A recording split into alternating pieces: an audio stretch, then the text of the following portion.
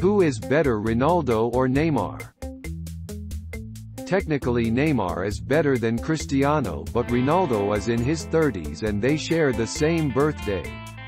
When Cristiano was 25 he had already won the Best Player of the World accolade. Cristiano is more of a box player now that he is aging. Neymar plays out wide and plays in the unique Barcelona way.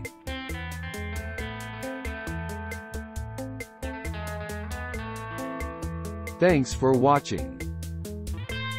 Please subscribe.